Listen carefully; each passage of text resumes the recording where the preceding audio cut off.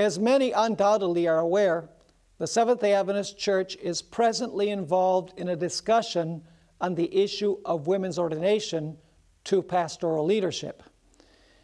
Uh, many within the Seventh day Adventist Church actually believe that there is no connection between the issue of women's ordination and the issue of gay marriage and gay clergy.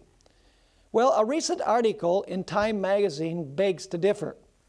I'm reading now from the January 26, 2015 issue of Time magazine.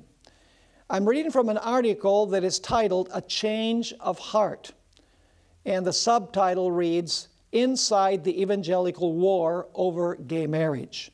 The article is written by Elizabeth Dias. I'm not much aware of her religious affiliation, but this is a secular magazine, and the article is presented from a secular focus. And so I would like to read a few statements from this article that show that clearly out in the world, people are aware that there's a definite connection between the issue of women's ordination to pastoral leadership and the agenda to have gay marriage and gay clergy. I'm reading now from page 47 of this article in Time magazine. The subtitle is What is at Stake? And I read, I quote from this article For many evangelicals, the marriage debate isn't really about marriage or families or sex. It is about the Bible itself.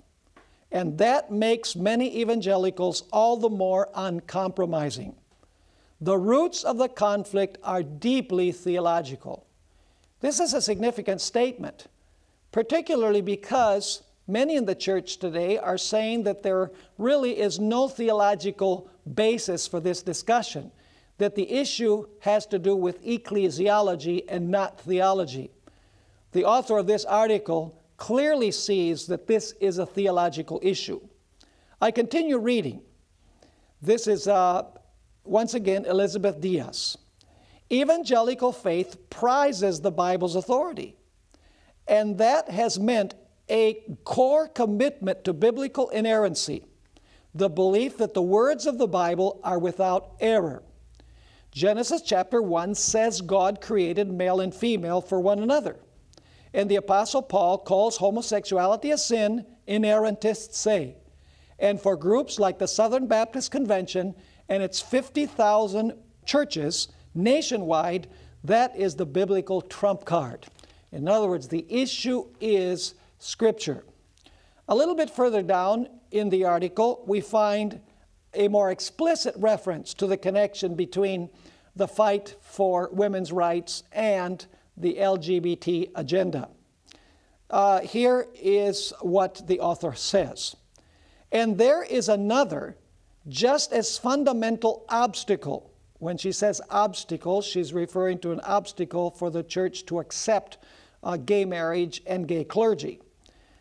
She continues writing So far, no Christian tradition has been able to embrace the LGBT community without first changing its views about women.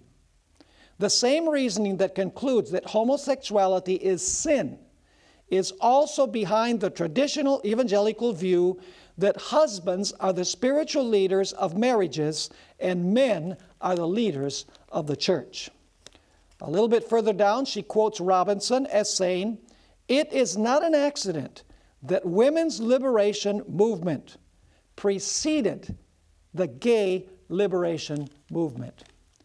And so there are two points that I would like to emphasize in this particular news flash. First of all, the author of this article clearly sees that this is a theological issue. And secondly, it is very significant that she sees a connection between the roles of men and women in the church and in the home and the agenda of the LGBT community.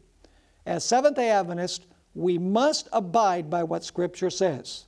Scripture says, Wives, submit to your own husbands. Husbands, love your wives. And Scripture also states that elders and bishops must be the husbands of one wife. Let us live by every word that proceeds out of the mouth of God. Let's not allow culture to dictate what the church does. Let's take what God says and apply it in our church.